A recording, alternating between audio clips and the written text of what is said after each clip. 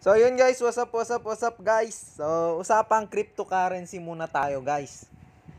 Kung hindi nyo pa alam tong cryptocurrency, ito yung isang digital asset to guys.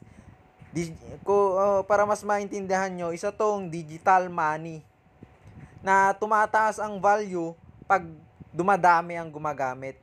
Tapos bumababa naman ang value kung kokonti ang gumagamit.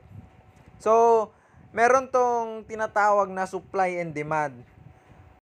Kung mataas ang supply, bababa ang presyo. Kung mataas ang demand naman, magmamahal ang presyo. Pero guys, itong mga ganito na bagong sulpot na mga coins, pwede to mawala agad. Pwede kayong may scam dito guys. Pwede kayong matawag ma-rug pull. Kung alam nyo yung rug pull, yung biglang tumaas tapos biglang baba. So mawawala yung pera nyo. Pwede naman hindi nyo makash out yung pera nyo. Maraming cases na ganito guys sa cryptocurrency.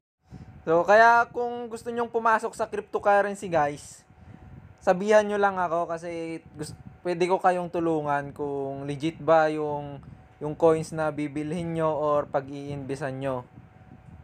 So, yun lang guys. Jor lang, do your own research muna. Wag at saka wag kayong papasok sa mga bagay na hindi nyo alam. Kasi diyan kayo naluloko. So, yun lang guys. Peace.